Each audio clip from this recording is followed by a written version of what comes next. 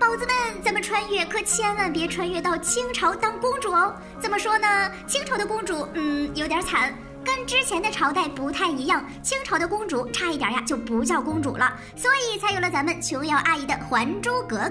在这儿呢，我要强调一下，格格和公主是不一样的。格格呢是指皇帝之外的王爷呀、贝勒啊他们的闺女，公主才是皇帝的亲生女儿。大清虽然保留了公主的叫法，但是呢，在管理制度上却做出了改变。但在清朝的公主管理制度之下，造就的是一段段悲惨的人生啊！按理说，这可是大清金尊玉贵的公主呀，怎么会有悲惨的人生呢？这是因为呀，他们既不是家里的主要劳动力，也不能完成传宗接代的任务，即便是长大之后，也不能当皇帝。所以啊，说到底，他们从出生那天起就只是皇家一个好看的面子而已。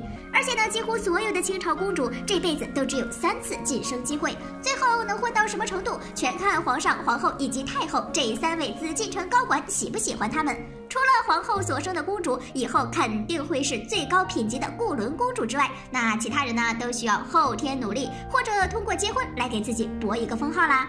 基本上呢，所有的清朝公主作用就是笼络人心。要么和亲到距离紫禁城很远的地方，要么就下嫁到某位重臣的家里。乾隆的十公主不是就被老爹赐婚给了和珅的儿子吗？这呀还算是在众公主当中好一点的了。据说乾隆的十公主为人聪颖伶俐，还是最受宠的一位呢。受宠到呀，如果她是男儿身的话，乾隆就要让她继承皇位的那种。可最后还不是把她嫁到了大贪官和珅家里。虽说他们家确实有钱，但后来被抄家了呀。所以说，清朝公主想要混出头，哎，实在是难哟。话说回来，清朝公主和宋朝的相比，还是要幸福很多的呀。宋朝驸马呢，在婚后还拥有最大限度的自由，清朝驸马就得守着诸多的规矩。我看宋朝的那些驸马都是大宋最快乐的男人了吧？清朝公主起码在婚姻状况上得到了保障。不过呀，即便是如此，清朝公主的婚后生活也不太幸福。无语！清朝一共一百多位公主，居然足足有四十多个没嫁出去，这这皇家的颜面何存？不过你要是看了下面公主的婚后生活，可能会庆幸还是不嫁的好，因为呀，清朝的已婚公主们着实有点惨。清朝的公主们要结婚，那可是一件非常隆重的事情。首先呢，公主们会在出嫁之前获得自己要用一辈子的称号，毕竟皇家公主结婚必须要有牌面呀，给一个封号，好让他们风风光光的出嫁呀。只有极少数的公主可以像《如懿传》中的锦瑟一样，小的时候就有固伦公主的封号。皇上是疼三公主呢，所以一登基就封了固伦和庆公主。这公主们出嫁，自己老爹老妈还要给嫁妆、宅子什么的。公主们是开开心心的出嫁了，但驸马家里呀，多少就有点喜忧参半了。喜的是自家儿子娶了个公主，那以后也算是皇亲国戚了呀。娶一个公主可以少奋斗几十年呢。忧的是儿子高攀公主，这娶回来的公主媳妇儿活脱脱的像是个小祖宗。为啥这么说呢？因为清朝公主可能在宫里的时候不受宠，但在外面的时候，好歹也是皇家颜面呀，牌面和气势方面那必须得拿捏到位。首先呢，就是驸马他们这一家子要向公主下跪行礼。按照这种架势来说的话，早上请安的时候，到底是谁跟谁请，那还不一定呢。最最重要的是，公主算是君，可驸马呢算是臣，俩人的地位相差很大，所以啊，驸马不能随意出入公主的寝室。俩人虽然同住公主府，但是属于分居状态。可别以为这只需要在外面做做样子啊，回到家里大门一关就可以不这么讲究了。这事儿啊可没那么简单。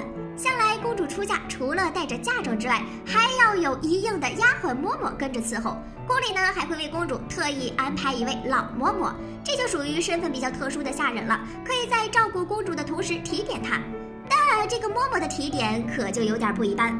这些嬷嬷呢，大都非常的古板，觉得堂堂公主不能太接地气儿，和驸马郎情妾意的过日子。嬷嬷呢就会觉得这是没规矩，搬出宫规组织，棒打鸳鸯是他们的强项。所以啊，清朝公主在出嫁之后不能常常见到驸马，实在算不上什么稀奇事儿。当然了，像是脾气硬或者是比较受宠的公主，嬷嬷们肯定也不敢这么来。可每个皇帝都有那么多公主，也不能挨个都受宠。据统计，清朝一共有一百多位公主，没嫁出去的有将近四十位，这些都是早夭或者是留在宫里的大龄剩女。皇帝们这些嫁不出去的闺女，未必就没有好结局。这么一看呀，还是和亲或者不出嫁的好啊。和亲的话，好歹这嬷嬷在别人的地盘没有这么硬气，也不敢管这些。只是和亲的话，这远嫁的生活确实是有些凄苦呀。不成亲的话呢，还可以搏一搏，万一留在宫里，还能有个差不多的结局呢。过分了，过分了！原来《还珠格格》骗了我们二十四年，《还珠格格》他们不叫《还珠格格》，他们得叫《还珠公主》。想必很多人都觉得清朝的格格和公主是差不多的存在吧？No No No，其实不是的。那些把皇帝亲闺女称作是格格的，全部都是大错特错。首先，只有皇帝的亲闺女才可以被称为公主。大清朝呀，可以说是一个格格遍地走的年代。听我跟你说哈，其实呢，一开始格格是对后宫嫔妃的称呼，到了康熙时期有了硬性规定，格格这个称呼才从后宫消失。